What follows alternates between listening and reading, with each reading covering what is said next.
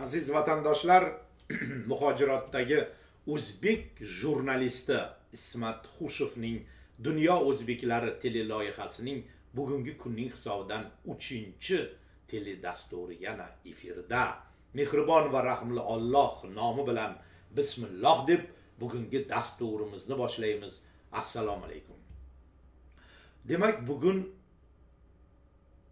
yettinchi fevral 2021 yil ona vatanimiz o'zbekistonda dushanba kuni ham sekin asta boshlanishi arafasida hozir yakshanba oqshomi cho'kdi o'zbekistonda. Toshkent vaqti bilan hozir to'qqizdan yigirma sakkiz daqiqa o'tdi. Demak o'n o'n bir o'n ikkigacha bir ikkita uchta dastur bilan yana efirga chiqishga qaror qildik. Talab va istaklar juda ko'p kelyapti. Biz eslaringizda bo'lsa har haftada dam olish kunlari mening prezident erkatoyining sarguzashtlari nomli siyosiy xotiralar kitobimdan ba'zi ba'zi boblarni e'lon qilib borayotganimizni yaxshi bilasiz. Shukrullo rahmatovich mirsaidov siyosiy portretiga sharh nomli bobdan biz birinchi ikkinchi qismlarini o'qib bergan edik bugun uchinchi qismi efirda. Demak yosh avlod shukurullo rahmatovichni tanimagan bilmagan yosh avlod uchun aytishim kerak islom karimovning yigirma yetti yillik boshqaruvi hali o'zbek davlati va siyosati tarixida o'rganilmagan sahifa. Yigirma yetti yillik tarix hali o'rganiladi tahlil qilinadi. Juda ko'p masalalar tanqid qilinadi va tarix yaratiladi. Mana shu yodingizdan chiqmasin. Islom karimov rahbarlik qilgan o'zbekistonda davlatchilik tashkil etilgan mustaqil o'zbekiston davlati poydevori qurilgan saksoninchi yillar oxiri va to'qsoninchi yillar boshidagi o'zbekiston ijtimoiy siyosiy hayotidagi voqea va hodisalar hali mutlaqo tahlil etilmagan. Ochilgan qo'riq degani kabi ochilmagan qo'riq bu tomonlar. Hali ular ochiladi tadqiq va tahlil etiladi. Tarix o'z munosib bahosini beradi. Ana shunday bir vaziyatda shukurullo rahmatovich mirsaidovning o'sha davr nuqtai nazaridan o'zbek ijtimoiy siyosiy o'zbekiston mustaqil o'zbekiston ijtimoiy siyosiy hayotida o'zining munosib o'rniga ega bo'lgan yirik siyosiy lider sifatida o'zbek xalqining fidoyi o'g'loni sifatida tarix sahifalarida uning muborak nomi mehr va muhabbat bilan zarhal harflar bilan albatta yozilajak. Men bunga shubha qilmayman. Bu uchun biroz vaqt kerak shekilli. Demak shukurullo rahmatovich mirsaidov o'zbekistonning birinchi va oxirgi vitse prezidenti siyosiy portretiga sharh uchinchi qism. Biz birinchi va ikkinchi qismlarida o'zbekiston tarixida alohida o'rin tutgan tarixiy yettinchi sessiya haqidagi xotiralarni sizga aytayotgan edik. Yettinchi sessiyada islom karimovga qarshi bo'lgan birinchi va oxirgi isyon keyin islom karimov bu isyon qatnashchilarini hammasini yo'q qildi. Nafaqat isyon qatnashchilarini balki mana shu sessiyada ishtirok etgan 500 nafar xalq deputatlarining hammasi 5-6 tasidan tashqari uyi kuyib ketdi 20 yil ichida. Hibsga ketdi aksariyati xorijga qochdi aksariyati yoki qochirildi va o'ldirildi juda ko'plari. Bu gapni bugun ochiq oydin aytsak bo'ladi chunki buni hamma yaxshi biladi. Ana shunday bir vaziyatda o'zbekistonning birinchi va oxirgi vitse prezidenti shukurullo rahmatovich mirsaidovning siyosiy portretini biz baho berishdan va tahlil qilishdan boshlaymiz. Demak ya close please. Demak e, mana shu nimalarni hop bu bugun biz yettinchi sessiyada oldingi voqealarda aytdik. Shuhrat tuhvatovich rahmatovning e, nusratov kechirasiz shuhrat tuhvatovich nusratovning men nutqini qo'yib berdim o'tgan dasturda. U kishi с вашим необузданным характером нельзя доверять rul республики deb shiddat bilan aytgan gaplarini man sizga qo'yib berdim. Ana shu yettinchi sessiya tamomila boshqacha yo'lga qarab ketardi. Islom karimovni bu sessiya ishdan olishi mumkin edi. Agar mirsaidovning mana bu nutqi bo'lmaganida demak biz shukurlar rahmatovichning nutqini efirga qo'yamiz. O'rtoqlar eng avvalambor man sizlarni hammanglarni hamjihatlik birlikka chaqirmoqchiman. Chunki hammamiz orqamizda xalq turibdi. Biz hamjihat bo'lmasak bir birimizni qo'llab quvvatlamasak xalq bizni kechirmaydi. Endi hali ko'tarilgan masalalar bo'yicha. Bu ham xalq dushmanlarining ishi. Qachongacha moskvadan kelib bizga aql o'rgatadigan bo'lishadi? Men bunaqa malomat toshlariga toshlari meni boshimga juda ko'p tushgan. Men bilan birga ishlaydigan odamlarni hammasi biladi. Meni o'rtoq alishib taqibga olgan bir paytlar 11 yasharligida otasi qamalgan ekan debdi. Arxivdagi oqlangan materialni yo'q qilib yuborgan ana shunda ham aytganman o'rtoqlar mani shahar sessiyasiga olib chiqinglar deb man ketay meni satin taqib ostiga olgan shahardagi bo'layotgan hamyurtlar bir ikkita shahar korxonalarining yirik yirik e, shu og'alarimizdan bo'lgan rahbarlari boshchiligida toshkent shahariga chetdan ishchi kuchi kelishiga qarshi chiqib yo'q qilish maqsadida 16800 so'm nalog chiqarganimizda bizni huquqimizga qarshi chiqyapti degan. Chunki toshkent shaharida toshkentliklar emas o'zbeklar kamayib ketgan payt edi. Ana shunda generalniy prokurorgacha yozib jinoiy ishlar ham qo'zg'atishmoqchi bo'lishgan. Bundan bir yil oldin man yana bir narsani bugungi sizlar muhokama qilayotgan masalalaringni o'rtoqlar man bir yil oldin aytganman prezident kengashida aytganman orqa holatdan emas. Prezident kengashida man taklif kirgizganmanki o'rtoqlar prezidentimizni xalq saylashi kerak. Xalq saylovidan o'tishimiz kerak. Ana shunda hurmatli islom abdug'aniyevich ham aytganmanki islom aka hozir xalq hammasi bizlarni qo'llab quvvatlab turgan paytda prezident saylovini o'tkazib olsak yaxshi bo'lardi keyin qiyin bo'ladi deganman. Prezident a'zolari qatnashib o'sha prezident bu taklifni islom aka mana mirsaidov taklif qilyapti deb shu kengashga olib chiqqan. Buni ham bo'yinga olish kengashda bir ikkita xushomadgo'ylar kelgusini bilmaydiganlar aytishdiki hozir olib chiqsak xalq ikkiga bo'linib ketadi. Endi olib chiqsak to'rtga bo'linib ketyapti. De shu bilan to'xtatishdi. Lekin ana o'sha yefimov ana undan keyin berkiv degan o'sha paytda sominni birinchi muovini bor edi. Hozir ketdi u. U kishi u bildim e, o'sha man ishlamaymiz deb masala qo'ygandan keyin berki prezident saytiga ishga o'tkazib keyin moskvaga hali mundoq yaxshilab ko'tarib jo'natib yefimlar yefimovlar gap tarqatdi o'shanda ham mirsaidov amal talashyapti ana shunda sovet ministrni qarori yo'q bo'lib sovet ministri tugatilib kabinet ministri prezident vitse prezidentlik bo'ldi. Mana shunda ham gap chiqmasin. Odamlar aytmasin qachongacha o'zbek xalqiga toqilonat keladiki bular amal talashadigan ekan. Qachongacha bular bir birini ustidan har xil orqasidan gap yurar ekan deb tishni tishga qo'yib nima deyilsa o'sha deb shunday anaqa qildim lekin o'z vazifamni vijdonan pok halol xalqimni oldida yo'lrost e, bilan aytib o'tamanki bajarib keldim. Keyingi paytda bir xil gap so'zlarga kirishib mani shu praktik ishlardan uzoqlashtirishlar ham bo'ldi. Bu menga zarar bo'lgani yo'q. Bu iqtisodga zarar keltirishini man prezidentga ham aytdim. Bundan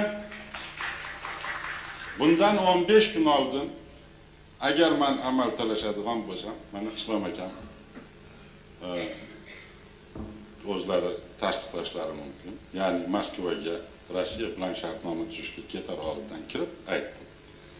Kelinglar mani tinch qo'yinglar man shu chiqib ketay.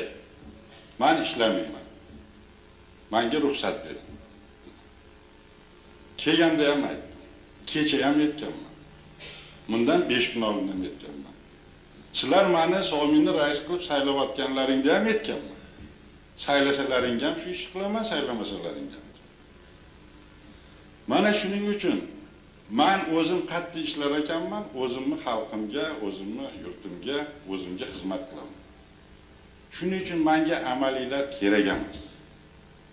Shunga qarab xulosa qilinglar xohlasanglar shuni mana premyer ministr deydimi vitse prezident deydimi bala deydimi battar deydimi amal degan narsa kerak emas dedim shuning uchun man hozir sizlarga aytishim mumkin. Manga amali keragi yo'q. Man hech qachon hech kimga bo'ysunib ishlamaganman ishlamayman. Man haligi tiz cho'kib yashagandan ko'ra tik turib o'lishni xohlayman shuning uchun e'tiborlaringga rahmat mani tinch qo'yinglar.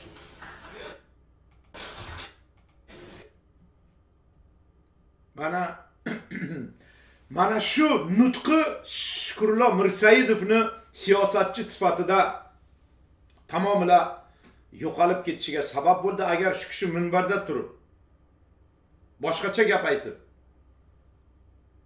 men boshqaraman respublikani deb haligi qilganda balki siyosat tamomila boshqacha bo'lib ketarmidi?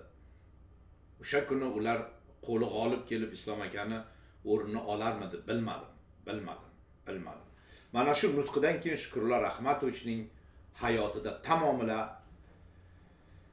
ho'p qora bulutlar boshi uzra aylandi va u alal oqibat o'limga mahkum etildi. Davom etamiz. o'ttiz uchinchi bo'lim. Mirsaidovning so'nggi so'zlaridan keyin shuning uchun e'tiborlaringga rahmat. Mani tinch qo'yinglar. Mirsaidovning so'nggi so'zlaridan keyin oliy majlis zali suv quygandek jimjit bo'lib qoldi. Shukurullo rahmatovich xuddi yelkasidan og'ir bir tog' ag'darilgan odamdek yengil bir tin olib boshini dadil tutgan holda bizning oldimizdan sekin asta yurib sessiya zalining hukumat a'zolari kirib chiqadigan yo'lagidan tashqariga chiqib ketadi. Islom aka o'tirgan prezidium shavkat yo'ldoshev ro'parada birinchi qatorda man o'tiribman hukumat a'zolari islom akani eng yaqin yordamchilari mavlon umurzoqov kadrlar bo'yicha davlat maslahatchisi zelimxon haydarov georgiy kraynov mavlon aka jo'rabekov men meni yonimda zokir almatov u yoqda e, smbni rahbarlari. Qarang islom akani yordamchilari pomoshniklari maslahatchilarini davrasida bosh muharrir bor yo'g'i. U ham tarmoq jurnalini gosplan jurnalini bosh muharrir ismat g'ushev o'tiribdi. Zal suv quygandek jimjit bo'lib qoldi. Oldimizda mirsaidov shunday yerga qarab shahdam qadamlar bilan o'tib hukumat a'zolari kirib chiqadigan chapdagi eshikdan chiqib ketdi. Hech esimdan chiqmaydi ko'z oldimda turibdi. Zal suv quyganday jimjit bo'lib qoldi.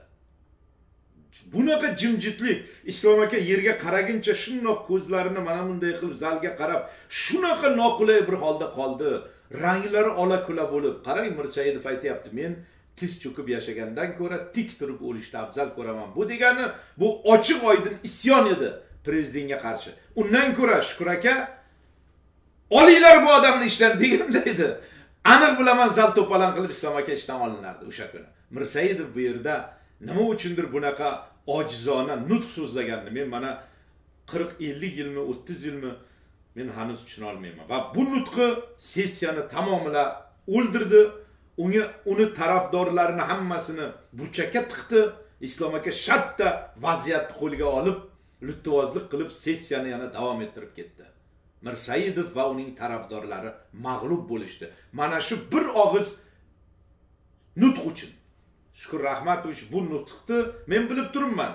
Kechasi tonggacha o'tirib ular aroq ichgan islom aka yalingan. Jo'rajon unaqa qilamiz bunaqa qilamiz deb. Ism bilan butun haligi bo'lib yurgan. Aliyevni g'ulom aliyev esimini rahbarini maxsus haligi qurollangan guruhlari sessiyani pastidagi yerto'lalarni bosib olgan deyishdi keyin. Haligi e, sessiya bo'ladigan zalni tagida prezidiumni tagida e, rahbarlar kirib bir piyola choy ichadigan nimalar bor. Peti minutga e, o'sha joylar qurollangan nimalarga to'ldirilgan. Juda ko'p tayyorgarlik bo'lgan. Mirsaidov shulardan xabar topgan shekilli taslimona nutq so'zladi bu kishi. Nima uchun unday qildi man tushunmadim.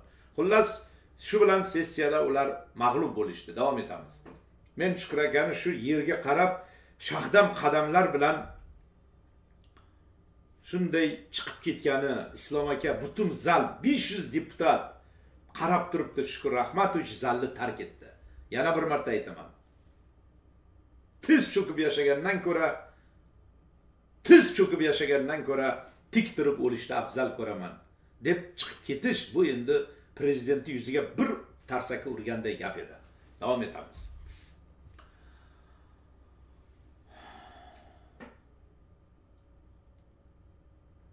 Shukurlar rahmatovich xuddi yelkasidan og'ir bir tog' ag'darilgan odamdek yengil bir tin olib boshini dadil tutgan holda bizning oldimizdan sekin asta yurib sessiya zalining hukumat a'zolari kirib chiqadigan yo'lagidan tashqariga chiqib ketadi. Keyinchalik shukurullo mirsaidov uchun o'sha bir og'iz aytgan men tiz cho'kib yashagandan ko'ra tik turib o'lishni xohlayman degan gapi nihoyatda qimmatga tushadi. Islom karimov aynan o'sha gaplari uchun uni qanday balolarga mubtalo qilganiga biz hali batafsil qaytamiz. Men shukurlo rahmatovichga nisbatan respublikaning birinchi rahbari tomonidan shaxsan topshirilgan va uyushtirilgan bu qabihlik va munofiqlikning shaxsiy guvohi va aytish mumkinki beixtiyor ishtirokchisi ham bo'lib qolgan edim. Biz bu masalaga hali qaytamiz. Agar o'shanda shukurlar rahmatovich minbarga chiqib xuddi o'z tarafdorlar bilan oldin kelishilganiday bugun men respublika rahbarligini zimmamga olishga tayyorman deganida vaziyat tamomila boshqacha bo'lar edi. U o'sha kuni o'zbekistonning yangi rahbari etib tayinlangan bo'lardi shaksiz. O'ttiz to'rtinchi qism. Ehtimol o'shanda biz sho'rlik kimsalar islom karimovga ko'r ko'rona mehr qo'yib keyinchalik hibs va xorijdan joy olgan qullik va xo'rlikka mubtalo bo'lgan vatansizlikka mahkum etilgan biz g'arib bechoralarning ham ayanchli taqdirimiz fojia qismatimiz boshqacha yakun topgan bo'larmidi? Nega mirsaidov qo'rqoqlik qildi o'shanda? Axir u tabiatan mard va qo'rqmas odam ediku. Nega unga ishongan va uni uni deb o'z hayoti va kelajagini xavf xatarga qo'ygan safdosh va tarafdosh do'stlariga g'oyadoshlariga xiyonat qildi? Axir u birovga xiyonat qilmaydigan mard jasur va qo'rqmas odam ediku. Mayli shukurlar rahmatovichning o'zi ham bir umr pushaymon qilib yurgan o'sha kungi noto'g'ri qadamlari unga keyinchalik juda ham qimmatga tushganiga biz hali qaytamiz. Nega o'shanda yaratgan egam ham islom karimovning tarafida bo'ldi? Nega uni asrab qoldi shak shubhasiz ketishi kerak bo'lgan bu lavozimdan? Nega baxt va omad taqdir va qismat ham unga jilmayib yuz ochdi mirsaidovga emas? Nega? Yigirma uch yildan buyon ana shu achchiq va alamli savollar so'ngsiz va behudud xayollar hanuz menga olis kanadaning qorli va suronli go'shalarida tinchlik bermay keladi. Demak bu asar yozilgan paytda islom karimov saltanatiga yigirma uch yil bo'lgan ekan aziz do'stlarim. O'ttiz beshinchi qism. Agar esingizda bo'lsa o'sha sessiyada so'zga chiqqan deputat marat zohidov bu fitna bu yerdan 200-300 metr nariroqda tayyorlangan deb sovminning binosiga, hukumat uyiga ishora qilgandi. U yoqda Sominda Shukurlar Rahmatovich turgan edi. Shunday qilib mustaqillik e'lon qilinganidan so'nggi davrda ilk bor O'zbekistonning siyosiy hayotiga har xil intriga va noxushliklar kirib kela boshladi. Biz yuqorida tilga olgan o'zbekiston oliy kengashining 7 sessiyasi 1991 yilning 30 sentyabr seshanba kuni boshlanib 1 yo 2 oktyabrda tugagan edi. Endi o'sha tarixiy 7 sessiyaning o'zbekiston aholisiga ma'lum bo'lmagan sahna ortidagi yopiq jihatlari va qirralariga to'xtalib o'tamiz. 36 qism. Shukurlo rahmatovich sessiyadagi o'sha ma'lum va mashhur nutqini irod etib zalni tark etganidan so'ng prezidentning topshirig'i bilan to'ppa to'g'ri olma otaga uchib ketadi.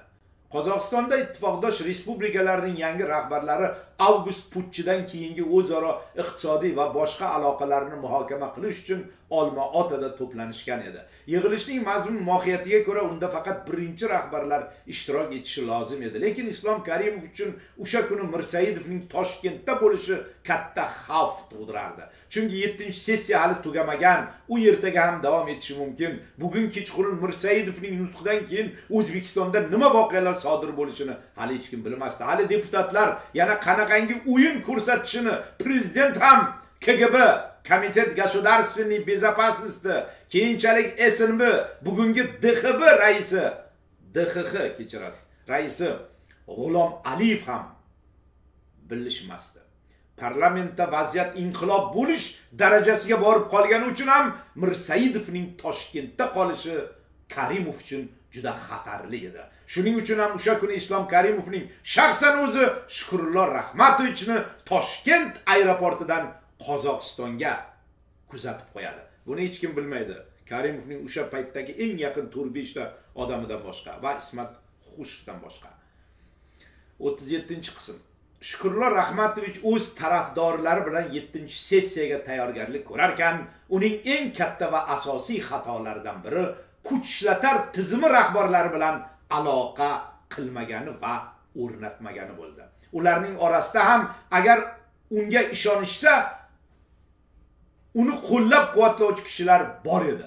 Lekin mirsaidov avvalambor moskvaga keyin o'zining tarafdorlariga ishongan va parlament uni prezident qilib saylasa kuch ilatar tizimlari o'z uz o'zidan menga bo'ysunadi deb xom xayolga borgan edi. Islom karimov esa aynan kuchlatar tizimi rahbarlari bilan birgalikda yettinchi sessiyaga jiddiy tayyorgarlik ko'radi. O'sha kuni prezident devoni va oliy majlis sessiyasi bo'ladigan bino atrofidagi yashirin joylarda qurollangan harbiylar joylashtirilganligini bu yerlarda norasmiy tarzda favqulodda holat joriy etilganini men bugun odamlarga ochiq oshkor aytishim kerak. Nazarimda bu haqda eng so'nggi daqiqada mirsaidovni ham ogohlantirishgan shekilli shuning uchun ham u balki oxirigacha kurashishga jur'at qilolmagan bo'lishi mumkin. Qolaversa ertaga sessiya bo'ladigan tun to tongga qadar prezident saroyidagi ziyofatxonada chiroqlar o'chmagan edi. Bu yerda kuchlatar tizimi rahbarlari va sessiyada nufuzga ega bo'lgan obro' e'tiborli deputatlardan so'ng eng oxirida shukurullo rahmatovich bilan islom karimovlarning ham boshni boshga urishtirib sharob hamrohligidagi sirli va xufiyona tong otar gurunglari bo'lib o'tgan edi. O'zbekistonning bu ikki rahbari o'sha oqshom nimalar haqida gapirishgani islom karimov mirsaidovga erta sessiyani tinch va eson omon o'tkazib olsak qanday yangi vazifa va istiqbollar va'da bergani bizga qorong'u.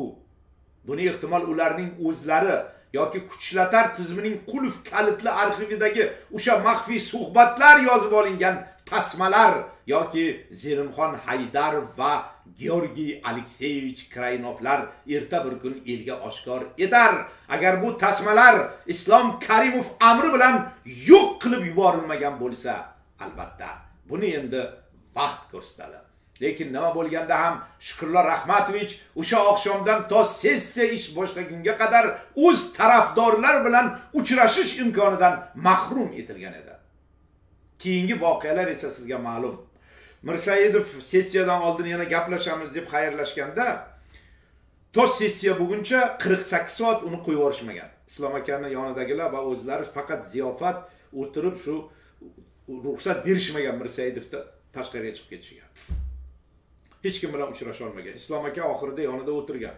Boshni boshga qo'yib vinoni ichirib xullas siyosat mana shunaqa narsa. Bu juda og'ir va bu voqealarni guvohlari bor bugun.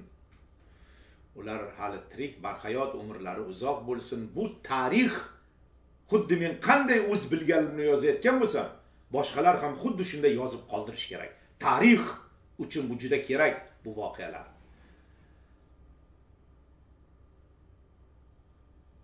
nima bo'lganda ham shukurullo rahmatovich mirsaidov o'sha oqshomdan to sessiya ish boshlagunga qadar o'z tarafdorlari bilan uchrashish imkonidan mahrum etilib prezidentning ziyofatxonasida asir etilgan edi. Keyingi voqealar esa sizga ma'lum.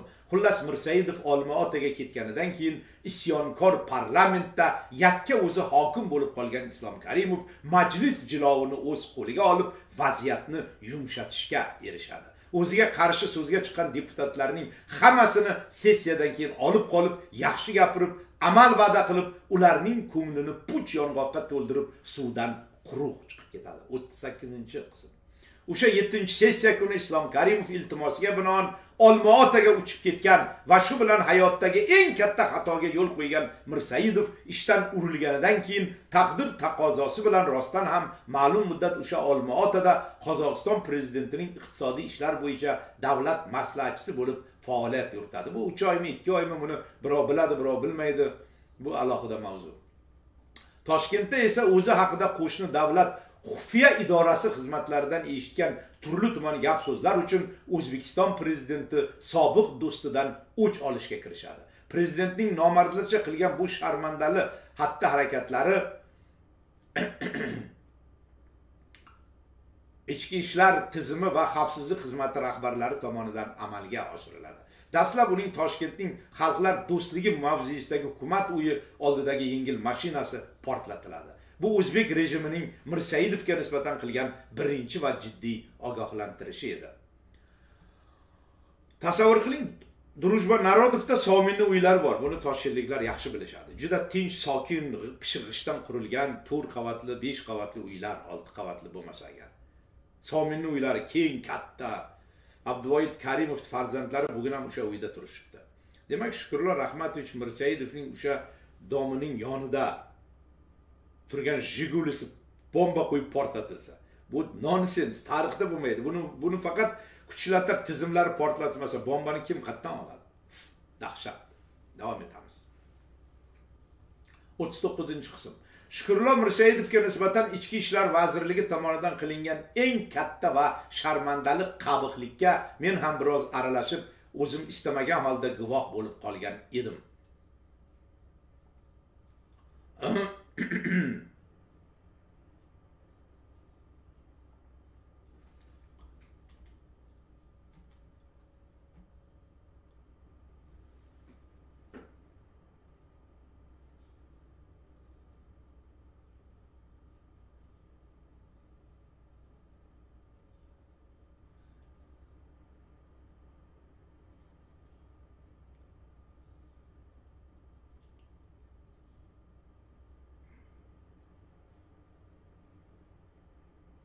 demak e, men shukurla mirsaidovning uyiga borgan edim.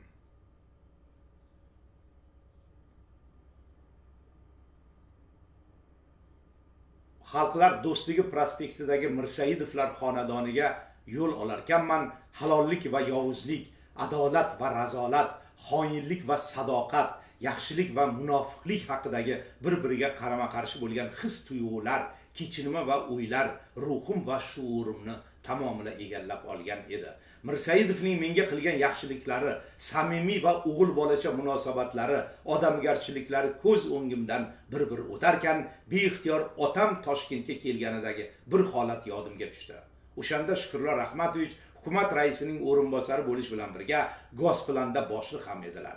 Maktabdan maktabda o'ttiz yildan ziyod muallimlik qilib endi bu kasbning obro' e'tibori qolmadi deb adolatsiz jamiyatdan yuz o'girib toqqa chiqib asararchilik bilan shug'ullanayotgan keksa otam bir kuni meni ko'rish uchun toshkentga keladi. Meni odam qilib katta lavozimga tayinlagani uchun islom karimov bilan shukurullo mirsaidovga minnatdorchilik bildirib qo'yish uchun otam atay toshkentga yarim bedon flaga asal olib kelgan edi. Otam asalarichilik bilan shug'ullanardi bechora nima qilishini bilmay pul yo'q shu asal yarim flaga u ham bir flaga emas yarim flaga asalni mirsaidovga olib kelgan edi. Islom karimov katta odam uni bezovta qilmaylik. Mirsaidov bilan ular yaqin og'ayni men o'sha kishining oldiga olib bor meni o'sha kishining oldiga olib bor. Ularga men o'z rahmatimni aytishim kerak dedi bechora otam. Telefon orqali gospilan bilan bog'lanib otamning iltimosini shukurlar rahmatovichning yordamchilari tuyg'un azamovichga yetkazdim oradan ikki daqiqa o'tmay hukumat telefoni vertushka jiringlab shukurullo rahmatovichning o'zlari telefon qilib qoldilar. Otangiz haqida islom akadan ko'p yaxshi gaplarni eshitganman olib keling kutyapman dedilar. Xursand bo'lib otamni mirsaidovning oldiga olib bordim. Shukurullo rahmatovich kabinetlarining yarmigacha yurib kelib otam bilan xuddi eski qadrdonlardek quchoqlashib ko'rishgan edilar. So'ng menga o'girilib shunday ajoyib va nuroniy odamning o'g'li ekansiz sizga havasim keldi ismatjon deganlarida rahmatli otamning ko'zlari quvonchdanmi armondanmi jiqqa yoshga to'lgan edi. Shukurlo rahmatovich otamning sovg'a sifatida ilinib yarim bedon asal olib kelganlarini eshitib hayrat bilan butun o'zbekistondagi asallar bizniki hukumatniki bekorga ovora bo'libsiz deb otamga qayta qayta minnatdorchilik bildirgan edilar. O'sha kuni asalni olmadilar. Lekin otam baribir niyat qilib olib kelganman deganlaridan keyin gosplan otalig'idagi bolalar uyiga beringlar deb yordamchilariga topshiriq qildilar. Bu boshqa gap. Eng muhimi so'zimni qaytarmadingiz deb bechora otam ham xursand bo'lgan edilar. O'shanda shukurlar rahmatovich otamni pastga tushib hukumat uyidan sominni raisi o'zi pastga tushib otam bilan mashinani oldigacha hukumat uyi oldidagi mening xizmat mashinamgacha shaxsan o'zi kuzatib qo'ygan edi. Shukurlo rahmatovichning uyiga borarkanman o'sha voqealar yodimga tushib ko'nglim buzildi. Shunda beixtiyor shukurlo rahmatovichga xiyonat qilolmasligimni anglab yetdim. Uchinchimi to'rtinchimi qavatga ko'tarilib tugmachani bosganim zahoti eshik ochilib ostonada avval mirsaidovning rafiqalari dilbar opa ko'rindilar. Keyin shukurlar rahmatovichning o'zlari huzurimga peshvoz chiqdilar. Men bu yerda ochiq yozganman meni mvdda qamashganida bilasiz meni mvdni podvalida olti oy yotganman. Qamashganida keyin man chiqqandan keyin mvdni bir odati bor shu qamalgan odamlarni ayniqsa siyosatchilarni ular ushlab turadi. Mani ham bir kun chaqirishibdi tinch yuribsanmi tinch yuribman aka dedim. Aqqa baqqa qilsang yana tiqamiz olib kelib bilasanmi? Bilaman aka. Mirsaidi bilan qalaysan. O'shandan buyon aloqam yo'q. Bor uyiga bor gaplash bizga nimasini fikri nima? E, nima qilmoqchi u? Shularni bilib kelasan. Endi u kishi hozir mani qabul qiladimi yo'qmi desam gapni ko'paytirma lutvozi qilyapsanmi yo kirib qo'yaylikmi podvalga? Ularda odat shunaqa savol ishlatdi terrorchilikka qarshi kurash bir marta qamalsangiz tamom. Buni mana qamalib chiqqanlar meni ro'paramda o'tirganlar yaxshi biladi. Xullas man majbur bo'ldim. Ular aytdiki borib mirsayevni uyiga borib fikrlarini planlarini bilasan. Pulim yo'q deb so'raysan dedimi pul so'raysan dedimi ular shu uni puli borligini bilmoqchi bo'lishdimi bilmayman xullas mana shunday qilib man mirsaidovni uyiga boryapman mirsaidovga xiyonat qilib uni gaplarini bilib aytishim kerakmi yo'qmi degan o'ylar meni xayolimni butun qamrab olgan shu tuyg'ularni men sizga aytyapman demak davom etamiz ichki ishlar vazirligi mulozimlarining bema'ni topshirig'i bilan u kishining uyiga borarkanman o'sha voqealar yodimga tushib ko'nglim buzildi. Shunda beixtiyor shukurlar rahmatovichga xiyonat qilolmasligimni anglab yetdim. Uchinchimi to'rtinchi qavatga ko'tarilib tugmachani bosganim zahoti eshik ochilib ostonada avval mirsaidovning rafiqalari dilbar opa ko'rindilar. Keyin shukurlar rahmatovichning o'zlari huzurimga peshvoz chiqdilar. Biz g'ayri tabiiy bir holda ko'rishar ekanmiz shukurlar rahmatovichning kayfiyatlari juda yomonligi diqqatimni tortdi. Men ro'para bo'lgan zahoti imo ishora bilan u kishiga maxsus topshiriq bilan kelganimni bildirdim. Endi gapirib bo'lmaydi. Yozib olinadi hamma gaplarim shunda man birdan nima qildim? Bunday qildim. U tushundi meni. Menda yozib olinayotgan narsalar bor shukurlar aka degan ma'noni bildirdim. Bunday qilib bunday qildim. Men ro'para bo'lgan zahoti imo ishora bilan u kishiga maxsus topshiriq bilan kelganimni bildirdim. U kishi hamma narsani tushundi. Kayfiyati battar buzildi. Suhbat qovushmadi biz xayrlashdik. Agar man o'sha duttuvozlik qilib gapiraversam u kishi ham gapirardi yozib olinardi hamma narsa men shukur akamga shu otamga qilgan yaxshiligi uchun va menga qilgan yaxshiligi uchun shunda aqlim ishlagan ekan shu men kirganda mana dilbar opa hali tirik guvoh birdaniga bunday qildim. Yozilyapti hamma narsa deb imo ishora qildim. Va shukur aka tamom xafa bo'ldi bechora. Lekin nima qildi? Bunday qilib qo'ydi bechora. Ming rahmat deganday haligi qildi. Men hozir juda og'ir bu gaplarni aytish lekin man hech narsani yoshirmay aytishim kerak. Mana dilbar opa guvoh bugun tirik u kishi. Men ro'para bo'lgan zahoti imo ishora bilan u kishiga maxsus topshiriq bilan kelganimni bildirdim. U kishi hamma narsaga tushundi. Kayfiyati battar buzildi. Suhbat qovushmadi biz xayrlashdik. Oradan hech qancha vaqt o'tmay o'zbekiston matbuotida e'lon qilingan bir rasmiy xabarni o'qib dahshatdan dong qotib qoldim. Ichki ishlar vazirligi matbuot xizmati xabar qiladi. Palon yil va palon oyning palon kuni tong chog'ida toshkent viloyatining o'rta chirchiq tumani hududidagi ichki ishlar bo'limiga fuqaro R. mirsaidov qip yalang'och holda kelib o'zini bir guruh bezorilar kuchlatib, zo'ravonlik va talonchilik qilmoqchi bo'lganlardan shikoyat qildi. Ular mirsaidovdan o'n ming aqsh dollar miqdorida pul talab qilishgan. Xabarning aynan mana shu o'n ming aqsh dollar talab qilishgan degan joyini o'qib men dahshatga tushgan edim. Chunki menga ham o'n ming so'ra deyishgan edi. Ichki ishlar vazirligini terrorizmga qarshi kurash. Bu kimni topshirig'i bilan menga bu gapni aytdi? Karimov topshirig'i o'n ming dollar menga so'ra deyishdi. Men uni haligi qilolmadim lekin keyin man boshqalar mana shu o'n ming dollar so'rashdi degan mana mana. Buni butun yoshi kattalar biladi. Ichki ishlar vazirligi axborot xizmatidan degan bu maqola e'lon qilinganida butun o'zbekiston dahshatga tushdi. Rahbarlar qo'rqib qoldi. Bu hammasi karimov qilayotganini prezident topshirig'i bilan bo'layotganini hamma tushundi. Hammani dami tushib ketdi. Men xudoga shukur qilaman bugun. Men mana shu iflos ishlarga aralashib qolmaganimga shukur qilaman va mirsaidovni ogohlantirganimga shukur qilaman. Uf mana hayot qanaqa dahshat. Qarang qip yalang'och qilib o'zlari urib kuchlatar tizimlarini bir guruh banditlar bor.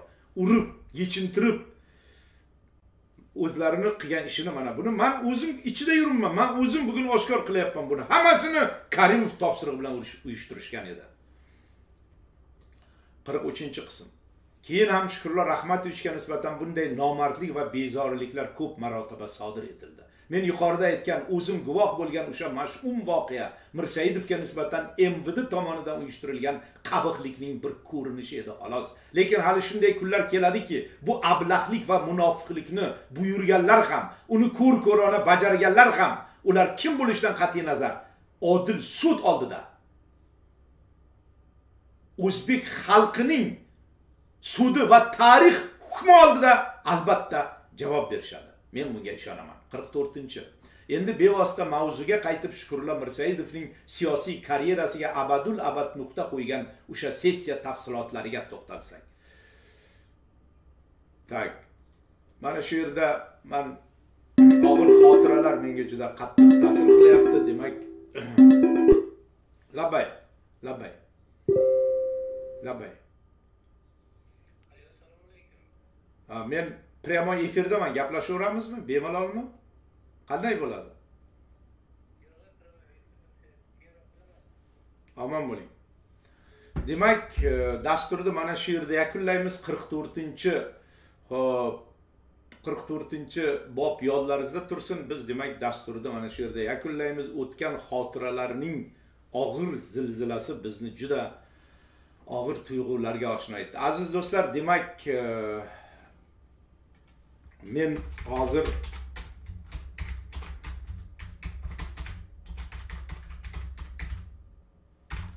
demak e, shukurlar rahmatovich mirsaidovning siyosiy portretiga e, siyosiy baho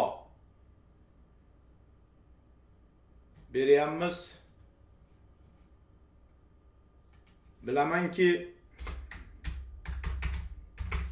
demak e, bu dasturimiz hali davom etadi. Biz shukurlar rahmatovich mirsaidovni bilmagan yosh avlod uchun aytaman bu kishi o'zbekiston e, ning birinchi va oxirgi vitse prezidenti juda ajoyib inson bo'lgan. Bu odamga qarshi karimov topshiriq bilan hamma oyoqqa turgan dushmanlik qilib qilish uchun. Lekin mana meni ham boshimga tushgan edi. Men shukur qilaman birinchidan. O'sha imo ishora qilib shukur akani men ogohlantirganman va uni yonida xotini ko'zlari katta katta ochilib ketgan dilbar opa bugun tirik. U kishi tasdiqlashi mumkin.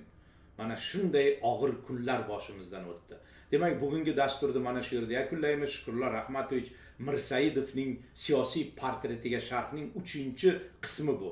Oldingi qismni ko'rolmaganlar birinchi va ikkinchi qismi ismat xushovning youtube'dagi telekanaliga kirsangiz shukurlar rahmatovich portretiga sharh birinchi qism deb yozsangiz YouTube'da chiqadi. Ikkinchi qism deb yozsangiz ikkinchi qism chiqadi. Mana hozir 10 daqiqadan keyin yozsangiz uchinchi bugungi qismi ham chiqadi. Demak, odatdagidek aziz do'stlar, Shukurlar Rahmatovich Mirsaidovning xotirasiga men u kishi vafot etganida yozgan she'rim bilan bu dasturimizni yakunlaymiz. Shukurlar Rahmatovich Mirsaidov xotirasiga. Bugun erta tongda qaddimiz doldir. Yo'qotib qo'ydik biz shukur akani. Uningsiz yod etish amri maholdir. O'zbekiston nomli respublikani. Bugun yuraklarda o'ksik bir alam. Qaddimiz bukildi boshimiz egik. Bizni tashlab ketdi biz sotgan odam hali yashashidan. Umidvor edik. Ne sabab bunchalar? Nomardsan hayot sen qayga bosh olib ketding diyonat? Biz buyuk bir zotni yo'qotdik. Hayhot ulug' bir insonga qildik. Xiyonat gazetlar sukutda radiolar jim zangori ekranda sho'xchan tarona mirsaidov o'ldi. Bilmaydi hech kim hamma baxtdan masrur shohga parvona nega haq deganning qismati xarob shuncha cheksizmidi? Undagi sabr 22 yil chopgani sarob va oxir oqibat topgani qabr. Shundoq o'tib ketar ekan vo ajab. Bir hovuch kul bo'lib o't va isyonlar endi bizdagi bu sotqinlik sabab qayta tug'ilmaydi. Bunday insonlar toshkentning mo'jaz bir qabristonida mard tanti bo'ysunmas bir zot ko'mildi. Tiz cho'kmay o'lmoqlik ahd paymonida shohga tik boqqan ko'z mangu yumildi. Bugun erta tongdan qaddimiz doldir. Yo'qotib qo'ydik biz shukur akani.